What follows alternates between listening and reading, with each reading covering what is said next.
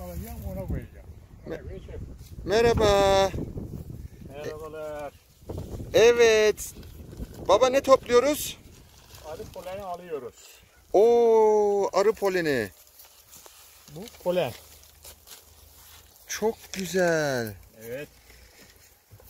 Farklı farklı renklerde. Tabii. Şimdi gel buna.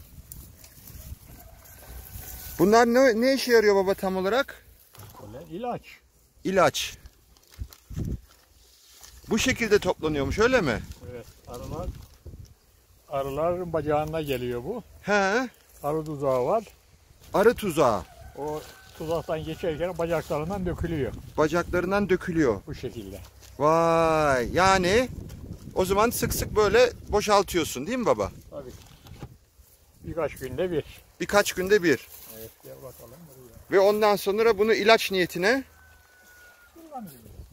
Nasıl bala mı karıştırıyorlar mesela? Bala karıştırırlar. Evet. Evet. Yaparlar. Hı hı. Çok güzel. Bu ne kadar sürede çıkan toplanan miktar baba? Polenin gelmesine bağlı bir şey bu. He. Vay bakın bunların hepsini işte arılar toplamış.